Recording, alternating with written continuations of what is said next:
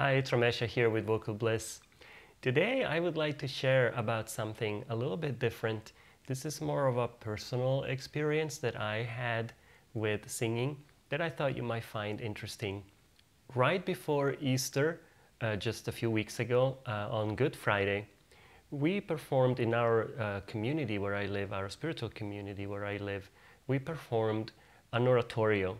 An oratorio is, it's the story of Jesus' life all put into music.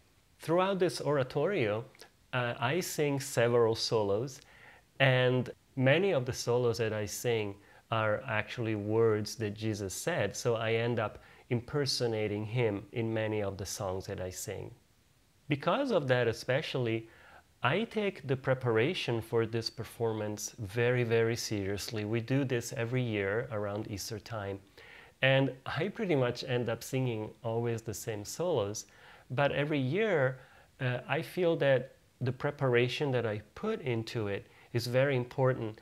And I don't just spend time working on the singing, on the uh, technical part of it, but I spend pretty much just as much time tuning more deeply into what I'm doing and the parts that I'm singing and the words that I'm saying. And I really take the time to understand better and better as much as I can uh, what I'm talking about and what I'm saying, which is very, very deep. Those of you who have seen some of my videos know how much importance I give to singing with consciousness, singing with knowing that what you're doing is not just singing notes and saying words, but it's really conveying a certain energy, a certain vibration in what you do. So when I stand up to sing uh, any of my solos, I always, always ask God to sing through me. I, you know, I have no idea how to do justice to songs like these. They are so deep, so how can I possibly know? This is why I feel I need help to try to convey as best as I can that depth, that awareness so that the people who hear, the people in the audience, can have an experience about something that is deep and deeply meaningful. There are two songs in the oratorio that are particularly deep, two solos that I sing.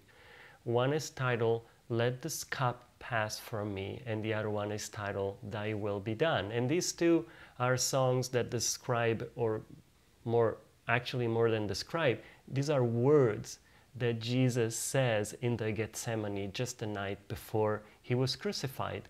And so they're very deep and very intimate. And there's a, there's a real power in those songs that just give you a glimpse into the inner nature of a master like Jesus.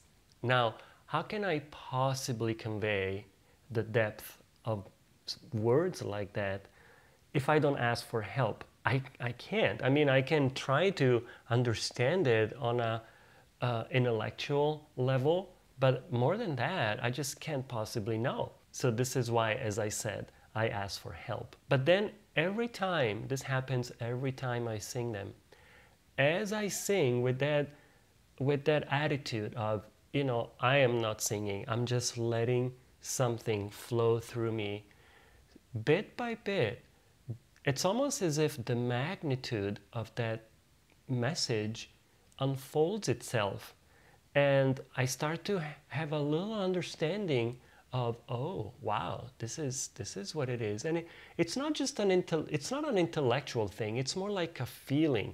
You start to feel like it starts like a little stream going through you and all of a sudden it becomes like a huge waterfall and it feels like it's completely cleansing me from anything. When I finish singing those two songs, I feel like completely empty, but in a good way.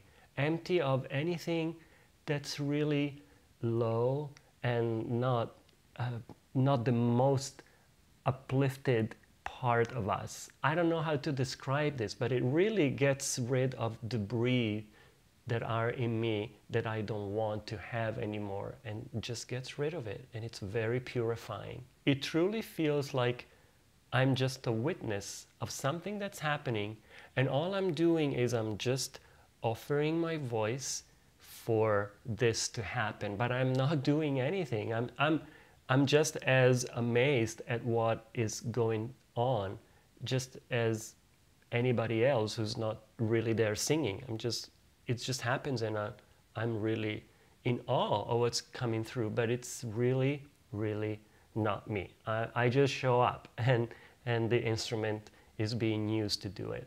After the performance, so many people came up to me and us, not just me, saying what an incredibly deep and transformative experience they had.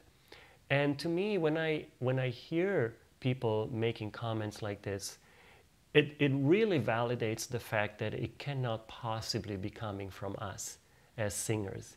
We're there, we try to uh, be channels for something higher, but there's no way something of that magnitude can be coming from us as individuals, as people. But because we are opening ourselves to this flow that's coming through, and it does come through, and then the real transformation can happen. And it can happen because it's from a higher source, it's not from us. This is how I see it. And I've seen it over and over over the years. Uh, people coming up and saying things that are absolutely out of proportion to what I feel I was able to put into the singing from my own. It is just out of proportion. So it cannot possibly be me, us. It's, it's something else. And it's amazingly beautiful and it's amazingly powerful. I would like to encourage every singer to not sing from their little ego, but to tune into God, or if you don't believe in God, try to tune into your higher self, the higher part of yourself.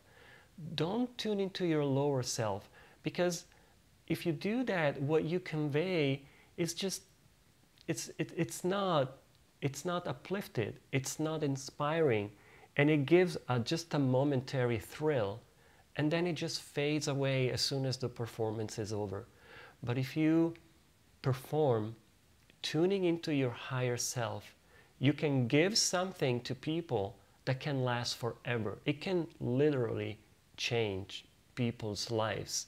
They may remember that performance for years to come because it was such a defining moment for them. And mind you, this works also if you don't sing spiritual music or religious music. I remember years ago when I was singing with my rock band, I still, I already used to do this practice, which is before every concert with my band, I would take a moment to just go inside and I would ask God to sing through me. And I was singing rock songs.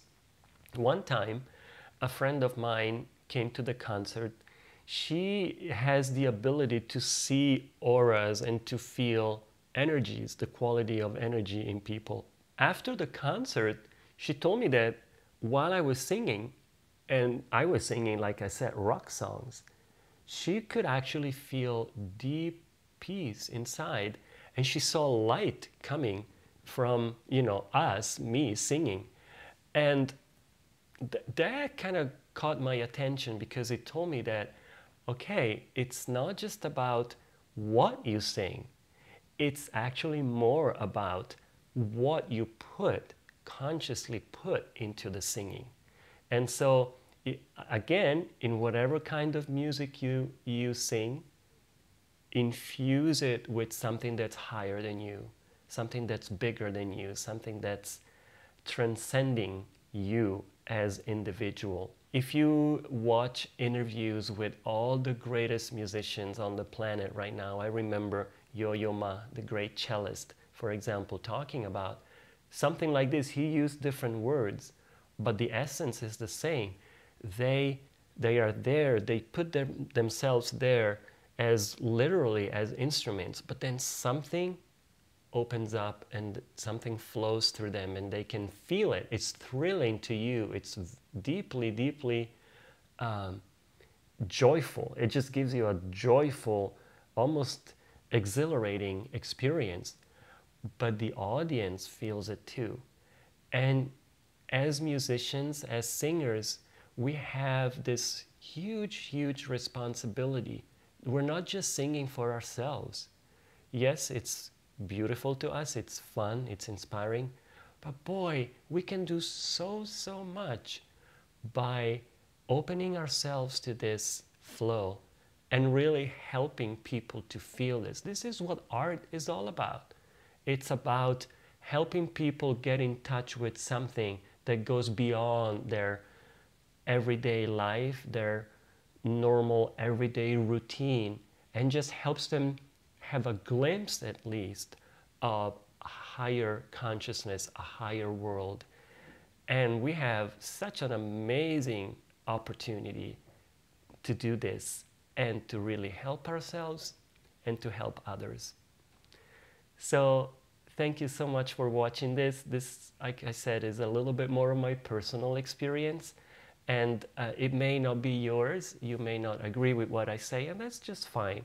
Uh, I just wanted to share because it's, it's been, I've been pondering it these last few weeks since it happened and it's, it's so deeply inspiring to me. And so I just wanted to share it with you. So do with it as you wish. And uh, thank you for watching. I will see you in the next video. Bye-bye.